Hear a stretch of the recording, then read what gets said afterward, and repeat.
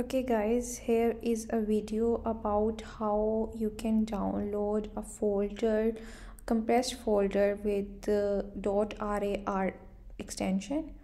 Here is my from google classroom. Here is my google classroom and i have a folder uh, named aml uh, slash a1 slash uh, spring 2021.rar uh, so let's try to open it first. I will click this option and then here is an other option with a folder name.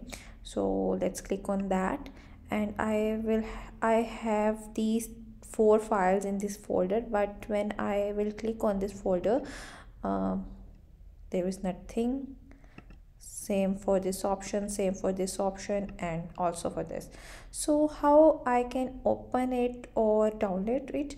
So let's go to the option. There is no option of download or save like uh, you have in other files uh, without uh, any .rar extract, uh, extension.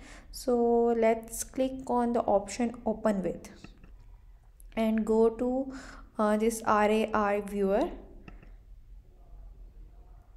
okay here it is. And after rar viewer you can click on this option google drive and uh, then option this and then select.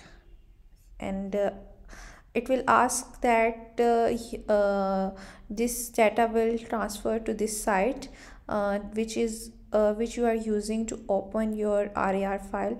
So i will click ok there and it will transfer to that file. I already have these files in uh, this website because uh, i did it before this video recording.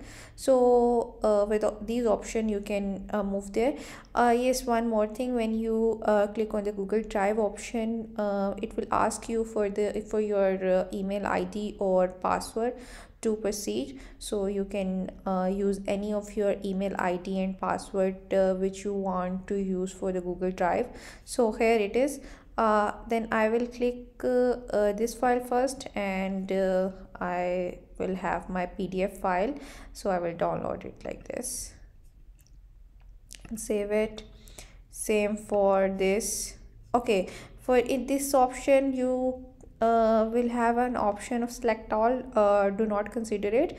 Just go to the option download file and you can download this file for uh, that and uh, also for that download this file and here.